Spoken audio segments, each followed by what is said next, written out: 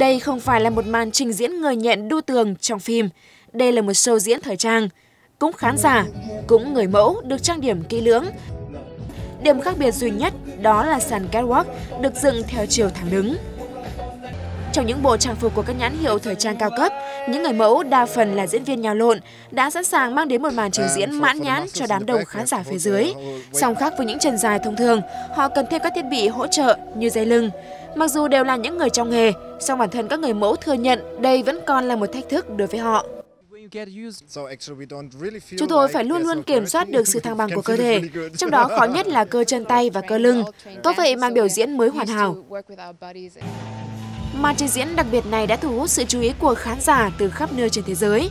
Nhiều người chia sẻ họ đã bị kích thích bởi bữa tiệc thị giác này.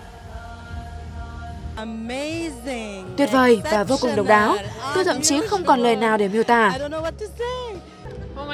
Thật tuyệt, tôi chưa bao giờ chứng kiến một màn trình diễn thời trang nào như thế này trước đó. Đúng là chỉ có ở Dubai. Trong khi đó, một show trình diễn bình thường cũng diễn ra cùng lúc trên mặt đất. Cả hai nằm trong chương trình kỷ niệm trong lễ hội mua sắm kéo dài một tháng tại Dubai, bắt đầu từ ngày 2 tháng 1